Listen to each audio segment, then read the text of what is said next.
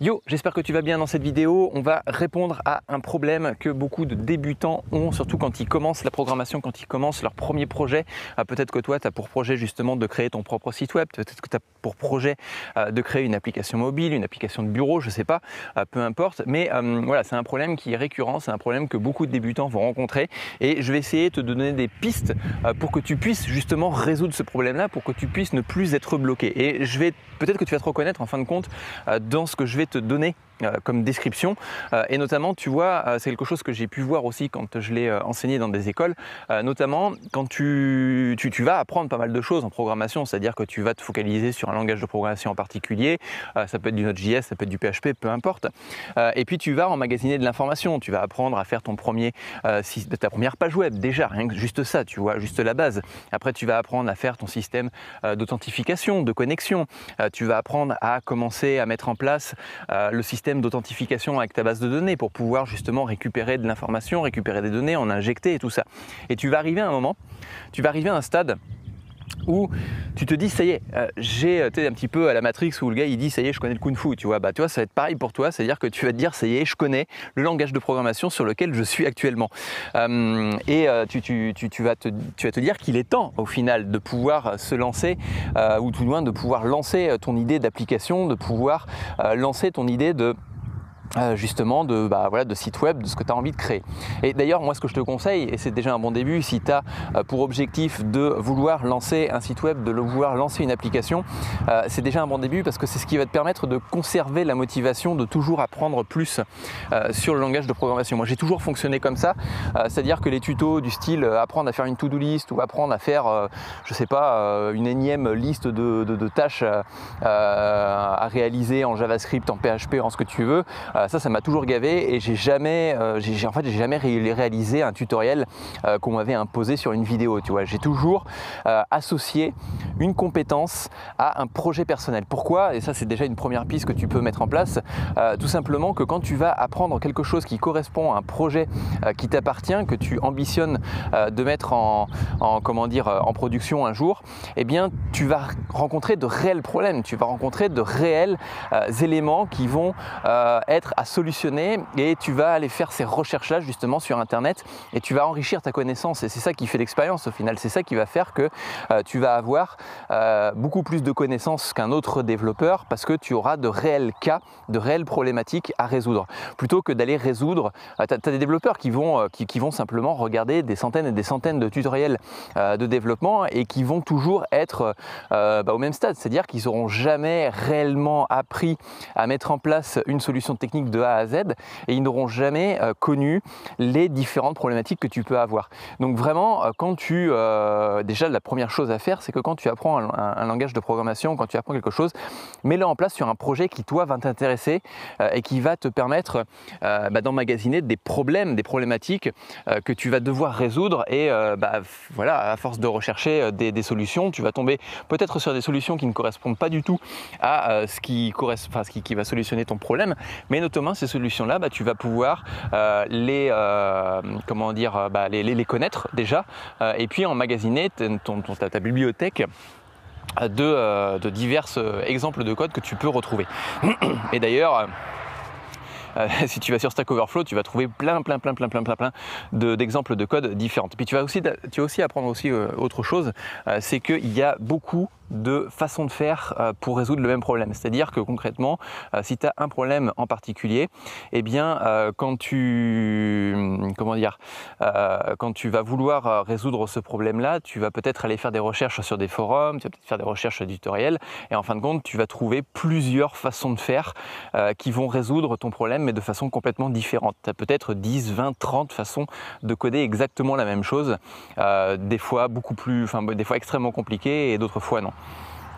Donc ça c'est euh, la première chose, mais ça ne résout pas notre problème de justement du débutant qui arrive euh, devant euh, sa première page web, devant son premier projet, et qui se retrouve un petit peu comme un écrivain va se retrouver devant une page blanche, de ne pas savoir par où commencer, par quoi commencer, comment faire bah, la première page web, comment faire le premier système d'authentification, est-ce qu'il faut commencer par l'authentification, est-ce qu'il faut commencer par le fait de mettre en place sa connexion à la base de données, etc. etc. Et concrètement, ça c'est quelque chose que j'ai rencontré il y a quelques années de ça maintenant, quand j'ai mis en ligne ma première application. quand j'ai mis en ligne une, alors c'est une application toute simple et à l'époque je pensais avoir acquis quand même pas mal de connaissances dans le développement, puis au final tu te retrouves à t'apercevoir que tu connais strictement rien. J'avais lancé une première application qui avait pour objectif, alors c'était une application qui était complètement illégale d'ailleurs à l'époque, qui avait pour objectif de faire gagner de l'argent à des personnes par des jeux euh, euh, assimilés euh, à des jeux de hasard en fait. C'est-à-dire que concrètement, je proposais à la personne d'appeler un numéro de téléphone. Donc, avec un, enfin tout du moins, d'envoyer un SMS à un numéro de téléphone et il recevait un code et ce code-là, il le rentrait sur mon site et puis bah, moi je lui disais est-ce que tu as gagné ou est-ce que tu as perdu? Enfin voilà. Euh, et donc euh, concrètement, à cette époque-là, j'avais commencé à développer ce site web-là. Sauf que quand j'ai commencé la première page de ce site web, je me suis retrouvé, comme je te dis, comme un écrivain euh, qui est devant sa page blanche et qui ne sait pas par où commencer, par quoi commencer, pour pouvoir développer son application. Et ça, peut-être que tu te retrouves aujourd'hui dans ce cas-là. Et en fin de compte, à, faire un site web, un deuxième site web, un troisième site web, un quatrième site web à la suite quand tu commences à en enchaîner quelques-uns, notamment pour des clients aussi, parce que pour des clients c'est plus facile euh, de développer des sites web que pour toi-même au final, pour une simple et bonne raison, euh, c'est que derrière hein, le client il a un besoin, il a une problématique, donc tu sais où est-ce que tu veux aller. Sauf que toi quand tu développes ton application, tu sais que tu as une idée d'application, par exemple une idée d'application de jeu euh, complètement illégale et enfin je sais avec le recul, je pense pas que ce soit totalement illégal, mais bon, bref, euh, donc tu, sais que tu as une, idée d'application, mais euh, concrètement, L'idée derrière tout ça, euh, c'est que tu ne sais pas très franchement où est-ce que tu vas euh, aller en fin de compte. Tu n'as pas une roadmap précise de où est-ce que tu vas aller. Et euh, moi, ce que je te conseille au final, quand tu commences ta première application, c'est de revoir tous les tutoriels que tu as fait et de commencer à imaginer ton application étape après étape. C'est-à-dire que c'est de ne pas commencer la problématique majeure en fin de compte de se retrouver devant une page blanche, c'est qu'on ne sait pas où est-ce qu'on va aller. C'est qu'on ne sait pas ce que l'on a à mettre en place en premier. Et moi, ce que je te conseille, c'est un petit peu euh, de faire comme si tu faisais, euh, je sais pas, comme, comme si tu partais en voyage, tu vois. Bon, c'est pas encore le cas avec le confinement, mais concrètement, comme si tu allais partir en voyage. Quand tu pars en voyage, euh, avant d'acheter tes billets d'avion, ou tout du moins au moment d'acheter tes billets d'avion, tu vas te poser plein de questions. Tu vas te dire, attends, écoute, moi, il me faut mes passeports, enfin mes passeports, mes passeports, tout du moins. Tu vois, trop, trop orienté dev, moi. il me faut mon, passeport. mon passeport. Qu'est-ce qu'il me faut encore? Ah, Il faut que je fasse aussi les valises. Mais ben, les valises, bon, ça peut attendre le dernier moment. et puis après, tu vois, tu vas organiser en fin de les différentes tâches que tu as réalisées pour pouvoir euh, partir en voyage. Et très franchement, euh, commence par là. Commence par imaginer ton application. C'est-à-dire que si tu fais une application de jeu en ligne, par exemple, une application mobile, est-ce que la personne a besoin de s'inscrire? Boum, ça y est, tu sais que tu as besoin de s'inscrire. Ça, c'est une première chose. Euh, est-ce que tu as besoin d'une page d'accueil? Une page d'accueil pour présenter ton application, pour présenter ton produit, pour présenter, je sais pas, tes services, etc. etc. Est-ce que tu as besoin d'une page de formulaire de contact? Et puis, une fois que tu as ces trois éléments-là, que tu as commencé à imaginer, euh, qu'est-ce qui est prioritaire? Qu'est-ce qui est prioritaire dans ton projet? Est-ce que ton projet, euh, pour, moi, ce qui est prioritaire en fin de compte, et c'est pour ça que tu vois, euh, sur les vlogs de dev que j'ai mis en ligne, enfin que je mets en ligne à peu près tous les jours en ce moment, c'est pour ça que j'ai commencé par la création du site web. C'est-à-dire que concrètement, si tu as une page de login à faire, une page de contact et puis une page d'accueil, commence par la page d'accueil pour une simple et bonne raison, c'est que c'est ce qui va te permettre de définir ton produit. C'est ce qui va te permettre de dire à la personne qui va arriver sur ton site web, ok, mon produit va ressembler à ça. Mon produit va résoudre tel problème. Mon produit va avoir tel bénéfice. Tu vois, juste ça, ça va te forcer à déjà imaginer ce que ton produit va avoir, va, permettre de résoudre comme problème. Et donc, à partir de là, tu auras déjà commencé à faire ta page web. Donc, pour moi, c'est quelque chose d'important.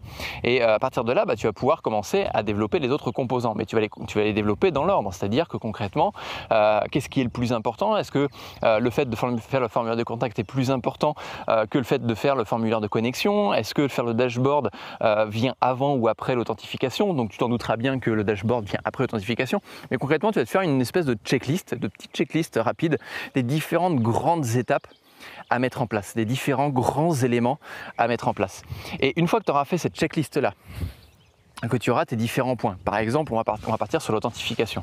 Eh bien, concrètement, l'authentification, tu as deux, trois étapes à faire. Tu as euh, le, formulaire de contact, le formulaire d'enregistrement, le formulaire de mot de passe oublié, par exemple. Donc, ça, c'est les trois grands formulaires que tu as réalisés. Donc, ça veut dire que tu vas pouvoir définir chacune des étapes. Et à partir de là, tu vas pouvoir approfondir chacun des éléments. C'est-à-dire que tu vas apprendre après euh, euh, les tutoriels, ce que tu vas apprendre sur Internet. Et notamment, bah, tu vas apprendre à faire un formulaire d'enregistrement. Ok, d'accord. Donc, comment est-ce qu'on fait un formulaire d'enregistrement sur Internet. Et tu vas recopier au final les, différentes, euh, les différents tutos, enfin recopier, tu vas euh, reprendre les différentes techniques que tu auras appris dans les tutos, puis tu vas commencer à mettre en place chacun des éléments. Mais tu peux pas euh, développer, surtout en tant que débutant, c'est pas possible. C'est impossible de commencer comme ça, from scratch, un, site web en tant que débutant total et de se dire, ok, d'accord, bah, je commence par quoi? Je commence par quoi? C'est la question essentielle que tu vas te poser. Et euh, donc le fait de commencer à imaginer ton produit, à imaginer ce que tu vas avoir besoin dans ton produit, euh, va faire que tu vas pouvoir euh, te confronter aussi à de réels problèmes. C'est-à-dire que concrètement, bah voilà, tu vas te poser la question, ok, j'ai un formulaire d'enregistrement à faire, comment est-ce qu'on fait un formulaire d'enregistrement? Ok, je tombe sur tel tuto de telle personne, boum, je vais commencer à, bah, je vais commencer à suivre son tuto. Ok, lui il commence par faire un formulaire, ok, bah, je vais faire un formulaire. Ensuite, ah tiens, il il a besoin d'un système de connexion à la base de données. Ah, bah ça tombe bien, on n'utilise pas exactement la même chose. Donc ça veut dire qu'il va falloir que tu ailles voir un autre tuto pour pouvoir venir mettre en place cette connexion à la base de données sur ton propre site web.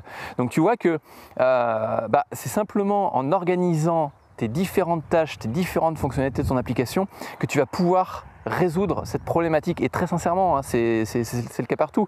Euh, pour la petite histoire, je, donne des cours dans des écoles à des personnes qui n'ont jamais développé euh, de quoi que ce soit, d'accord?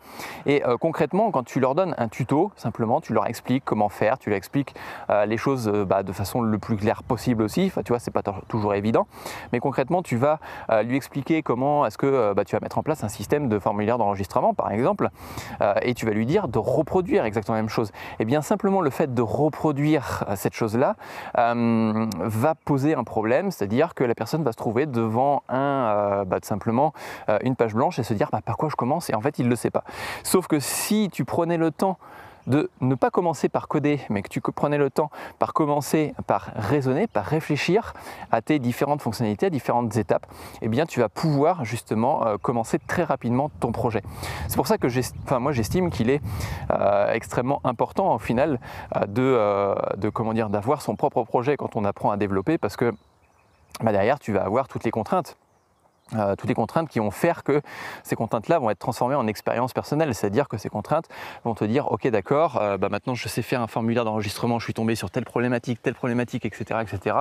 Euh, tu, tu, vas enrichir ton expérience par un projet qui va t'intéresser, donc qui va te motiver, et tout ça va faire que tu vas pouvoir réussir euh, et qui va faire que tu es un bon développeur au final. C'est ça, c'est le fait de trouver un projet qui va vraiment t'intéresser, euh, plutôt que moi j'ai jamais suivi un tuto euh, sur internet de, je sais pas, de checklist, de to-do list ou quoi que ce soit, parce que ça m'a jamais intéressé d'une part, enfin faire une checklist pour moi c'est une perte de temps. donc bah, concrètement, je vais essayer de trouver un projet perso sur lequel je vais apprendre des choses. Et c'est d'ailleurs des choses que je mets en place sur, sur les vlogs de dev, c'est-à-dire que bah, tu as une playlist sur la chaîne YouTube qui s'appelle Vlog de Dev, euh, euh, comment dire, euh, ben, vlog de développeur. Enfin voilà, tu, trouveras la playlist comme tu veux. Et concrètement, derrière, bah je prends un réel projet. Il y a des choses que bah, je sais faire parce que c'est des choses que j'ai apprises au fur et à mesure et que je maîtrise aujourd'hui. Mais il y a des choses que je ne vais pas forcément savoir faire, mais mais, mais, mais, mais j'ai une réelle problématique derrière qui va me permettre d'enrichir mon expérience euh, dans ce secteur-là, dans ce domaine d'activité. Et euh, concrètement, bah, en regardant plusieurs tutoriels, en me renseignant sur plusieurs euh, forums, en regardant plusieurs articles, eh bien, je vais pouvoir venir renforcer mes connaissances et essayer de les mettre en application après par la suite sur mon projet, sur le gros projet. Donc le projet s'appelle attrape.io si ça t'intéresse. tu peux aller voir sur la, sur la, comment dire, sur la chaîne YouTube. Il y a toute toute une série de vlogs qui sont, bah, que je suis encore en, train de tourner parce que je n'ai pas fini l'application, mais dans lesquels bah, je vais te montrer les différentes étapes que je mets en place. Mais ça, ça ne va fonctionner qu'à partir du moment que tu auras défini les tâches. Et d'ailleurs, si tu regardes les premiers vlogs que j'ai mis en place sur vlog de développeur, eh bien concrètement, ce ne sont que, sont pas des vlogs où je vais développer, ce sont des vlogs où je vais faire de l'organisation, où je vais définir les fonctionnalités, où je vais regarder les problématiques sur lesquelles je vais tomber sur chacune de ces fonctionnalités.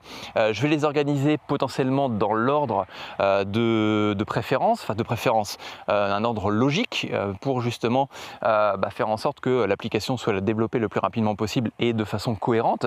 Et à partir de là, je commence tout juste à mettre en place bah, la partie technique, notamment l'intégration continue, le déploiement continu. après, ça va être bah, la mise en place des différents éléments essentiels, c'est-à-dire tout ce qui est système d'authentification, etc. Et puis on va avancer étape par étape, tu vois.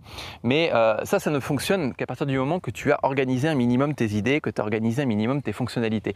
Si tu ne fais pas euh, ce travail euh, nécessaire au départ, effectivement, tu vas toujours tomber sur une page blanche qui va venir te bloquer et te poser la question, ok, qu'est-ce que euh, je vais euh, mettre en place pour pouvoir avancer? Donc j'espère que ce conseil euh, va t'aider à essayer de résoudre justement cette problématique de la page blanche. Et puis éventuellement, si tu l'as, cette problématique-là, n'hésite pas à me le dire dans les commentaires, n'hésite pas à me poser des questions.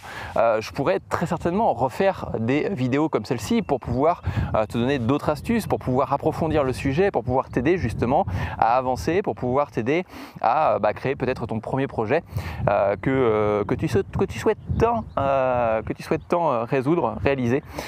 Euh, et, donc, et donc voilà. Donc sur ce, eh bien, je te dis à plus tard. N'hésite pas à liker la vidéo si tu l'as appréciée. N'hésite pas à t'abonner pour ne pas louper les prochaines vidéos. Et sur ce, je te dis à plus tard. Ciao, bye.